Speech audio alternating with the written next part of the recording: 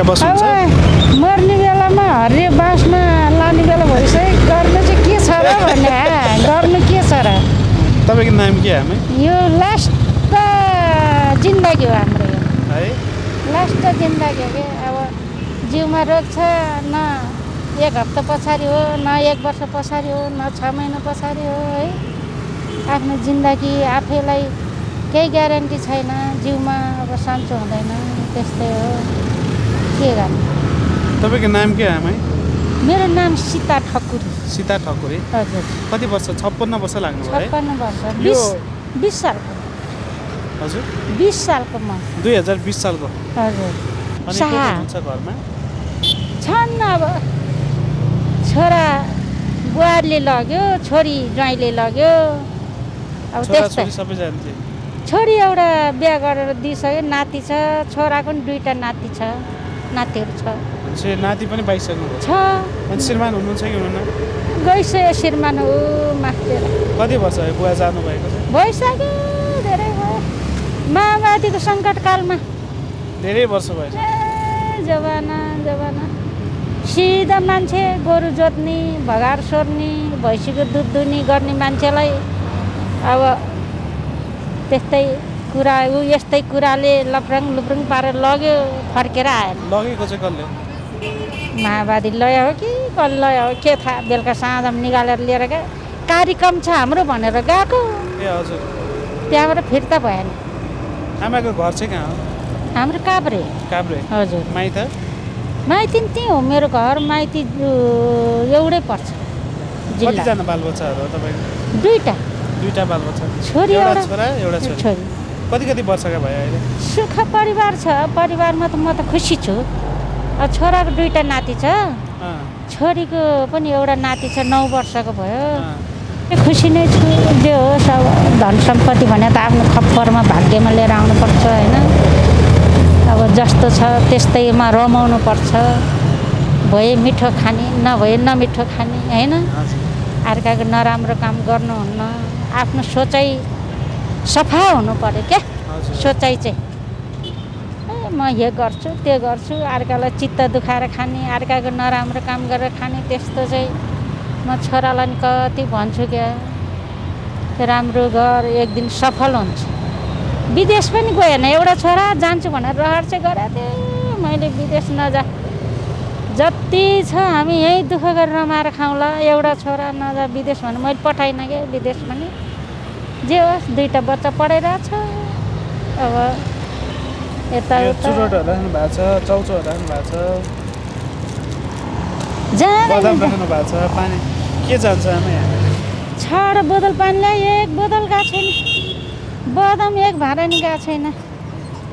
चुरोट पाइलट गयो कति गएको नि यो दुइटा तिनवटा गयो। जाँदैन। ए भयो भने चार पाँच सय छ सय। अनि सामान हाल्नु पऱ्यो नि त। सामान महँगो छ। यो एउटा चुरोटलाई तिन सय पर्छ भाइ होलसेल पसलमा। तिन सयमा पाँच रुपियाँ फिर्ता हुन्छ। भनेपछि दुई सय पन्चानब्बे। होइन त? तिन सयमा पाँच रुपियाँ फिर्ता हुन्छ? दुई सय पन्चानब्बे। दुई सय पन्चानब्बे। हजुर। छ सय लाँदाखेरि दस रुपियाँ फिर्ता आउँछ ल। यो दुइटा अनि तपाईँलाई यहाँ बस्दाखेरि कसैले गाली गर्ने पुलिसहरू आउने खै अहिले अहिले त भनेको छैन अस्तिको यहाँ सवारी हुने रे। अनि त्यो दिन पनि बस्दैन भोलिपल्ट पनि बस्दैन। ऊ उतातिर कुनाम गएर बसेँ म। खै बल्ल टारतिरबाट ठुलै मान्छे आउने रे भन्थे। म सरसफा गर्छु। कस्तो फोहोर थियो यहाँ बसेर यत्तिको सफा भएको। बिहान पानी छम्केर म घरदेखि एक बोतल पानी ल्याएर छम्केर बढार्छु। यहाँनिर? यहाँनिर सबै। कति बजी आउनुहुन्छ आमा हजुर? आठ बजीतिर आइपुग्छु आठ बजी। आउनुहुन्छ? अनि खाना आठै बजी खाएर अनि ऊ बच्चाहरूलाई खाना बना हुन्छ। हजुर। अनि आफू पनि यति यति खायो। अब दिउँसो त्यही चिउरा सिउरा के टोक्नु मन लाग्छ अलिअलि टोक्यो त्यही हो। भोग लाग्यो भने। हजुर। त्यस्तै हो के गर्नु त? आज के के बेच्नु भयो हजुर खै यही चिकन गयो अलिअलि भने गयो नि पानी गएको छैन बदमहरू पनि गएको छैन। यो गयो अलिकति यो बिरातीहरूले खायो। पाँचको दुइटा दिन्छु। पच्चिस रुपियाँ बस्छ यसमा। पच्चिस रुपियाँ बच्छ। सबै बेच्यो सबै। एक प्याकेट बेच्दा। एक पाकेट कतिवटा हुन्छ आमै? त्यो चाहिँ थाहा भएन सय रुपियाँमा दिन्छ। पच्चिस रुपियाँ बस्छ भन्छ साउलाई सोद्धा। तपाईँलाई पच्चिस बस्छ दिदी भन्छ। अझ होलसेलबाट फाटफुटबाट ल्यायो भने त बस्दैन अनि यसमा? यो तिन सय बिस। बिस तिस पैँतिस। एक प्याकेटमा पैँतिस तिन सय पैँतिस पर्छ। मलाई लगभग चालिस। पैँतालिस जति बस्छ सबै एक प्याकेट गयो भने जाँदैन तिन दिन जति लाग्छ। अनि के एक दिन गए त तपाईँले समय भुलाउने बाटो। छैन छैन केही छैन। अनि आमै पढ्नु भएको छ कि छैन हजुरले? पर्सि चाहिँ परेको दुई तिन महिना जति यसो नाम अलिअलि लेख्न आउँथ्यो त्यो पनि बिर्स्यो। आउँदैन अति बुढेसकालको दिमाग के झन् अहिले त बोद्धो भइसक्यो। त्यतिखेर नि अलि राम्रोसँग पढ्नु पाए भए त हुने नि। कहिले जाने कहिले नजाने उहाँ त्यो झुम्रो थाङ्नामा मट्टी तेल चोपेर माथि उकालो लाएर जानु पर्थ्यो अब घरमा बनाइ तुलै गरेर खानु दिने गर्ने त सधैँ जाने। घरमा समस्या हुनु त कहिले त राति हुने साथीले छोडेर गइहाल्थ्यो। जानै नसक्ने।